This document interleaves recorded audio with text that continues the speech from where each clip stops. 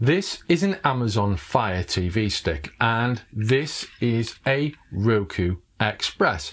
Both offer a reasonable streaming experience, but I've been asked to review this comparatively huge device, the Ugoos UT8 Pro.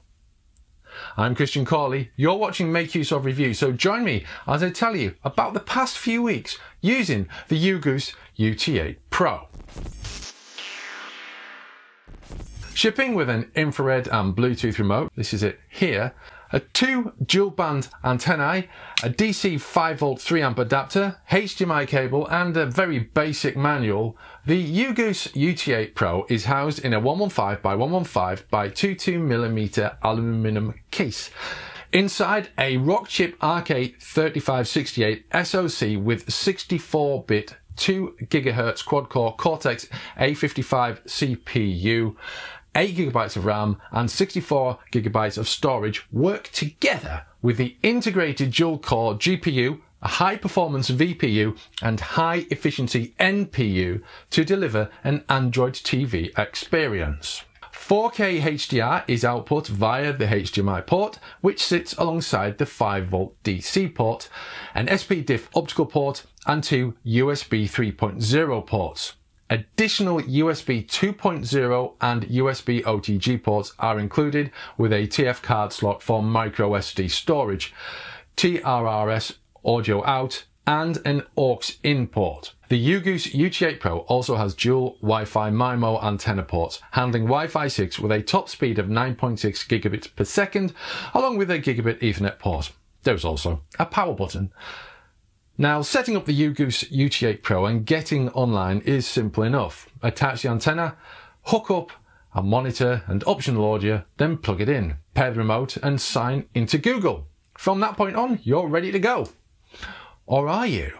Before receiving the Ugoos UT8 Pro, I was informed that Disney Plus does not run on the device. Now that's a bit of a deal breaker in anyone's book, especially in a household with children. Fortunately, it's not true. Disney Plus, Prime Video, Netflix, YouTube, iPlayer, BritBox, they all work fine, as does Plex. Also working without issue are games. Thousands of games are available on the Play Store, from the latest awesome experiences to zeitgeisty viral sensations like Wordle. You've also got the advantage of retro games on the Play Store, thanks either to republishing, thank you Sega, or emulation with individual tools or an entire environment like RetroArch. With support for all manner of USB storage devices, the Ugoos UT8 Pro can act as a complete media center environment. It cannot natively play AVI files, however, which is where extra codecs are required. The best solution here is VLC for Android, if you're wondering, although you could just as easily install Kodi. But the Ugoos UT8 Pro is not without its problems. While it plays pretty much any video and audio streaming app without a problem and opens up a wealth of games on the Play Store, the remote control is utterly useless. On first inspection, it's a reasonable piece of tech, one that easily connects to the TV box over Bluetooth. The problem isn't so much the remote as the user interface, and unfortunately, using them together is like attempting to iron the ocean. You've seen Android TVs in the shops and you know what the user interface looks like. That's not what you're getting with the Ugoos UT8 Pro.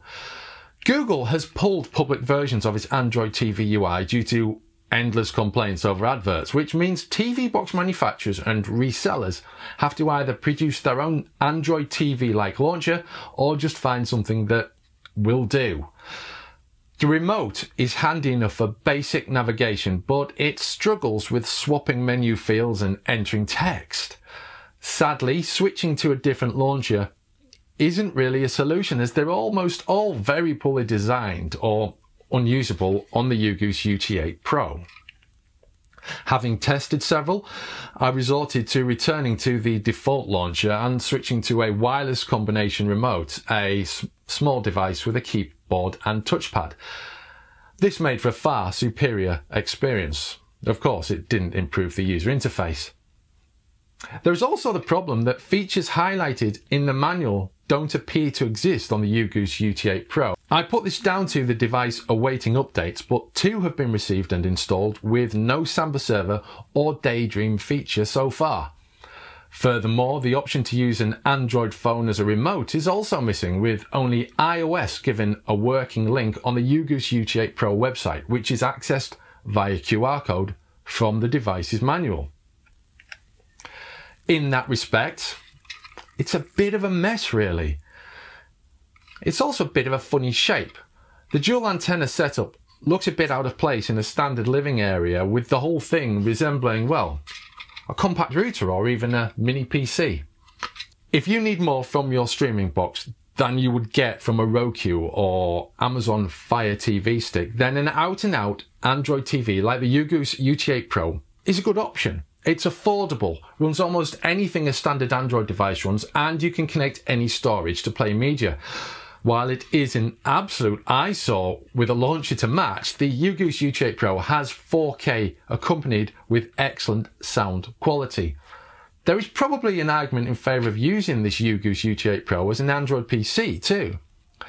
But that default launcher and the poor choice of alternatives might just push you back towards Apple TV or Amazon Fire TV.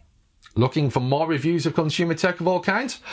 Subscribe to the Make Use of YouTube channel where you'll also find tips, tricks, and giveaways.